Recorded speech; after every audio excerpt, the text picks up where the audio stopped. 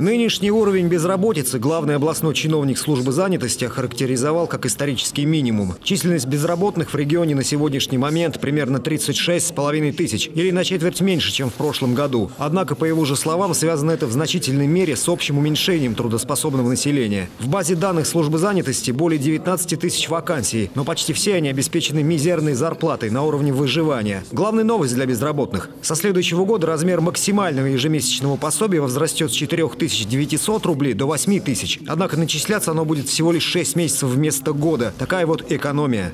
Надо понимать, что при сроке безработицы более полугода она уже носит застойный характер, уже человек труднее найти работу, соответственно, уже соответствующие могут быть проблемы, проблемы, потери веры в собственные силы работника, который хотел бы быстро найти работу, а у него не получается. И здесь мы должны помогать, максимально эффективно работать с нашими э, гражданами, которые к нам обращаются. Всем памятна недавняя история со стеклотарным заводом «Раска». На предприятии банкроте был сокращен 281 работник. 149 написали заявление об увольнении по собственному. На помощь свежеиспеченным безработным пришла служба занятости.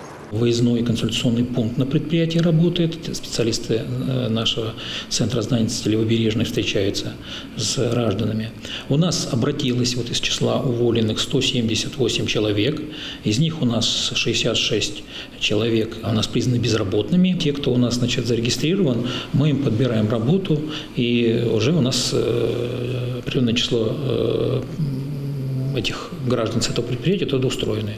Изменения в законодательстве коснулись и граждан предпенсионного возраста. Им пособия, в отличие от людей помоложе, могут выплачиваться полный год. Если же мужчины и женщины имеют трудовой стаж не менее 25 и 20 лет соответственно, то период выплаты увеличивается еще на две недели за каждый год работы. Тем же работодателям, которые увольняют предпенсионеров или отказывают им в предоставлении работы, грозит административное или уголовное наказание штраф в размере 200 тысяч, либо в размере заработного плата, винов, заработной платы виновного лица в течение 18, лет, 18 месяцев, либо значит, 360 э, часов общественных работ. Но вы понимаете, и не секрет, что работодатель может найти э, свои, так сказать, иные, непрямой повод, когда он пишет значит, в письменном ответе, который может затребовать любой обратившийся значит, причины, почему вы, значит, либо уволили меня, либо, ну, в основном на прием на работу отказали. Однако пока такие случаи не зафиксированы. Также на пресс-конференции говорили и о переобучении и повышении квалификации женщин, находящихся в трехлетнем отпуске по уходу за ребенком. В рамках национального проекта «Демография» ежегодно 600 молодых мам смогут получить новые специальности. Общий объем финансирования порядка 160 миллионов рублей. Проект стартует в 2020 году и рассчитан пока на 5 лет. Игорь Захарченко, Игорь Наумов, Дмитрий Хлебный, 41 канал.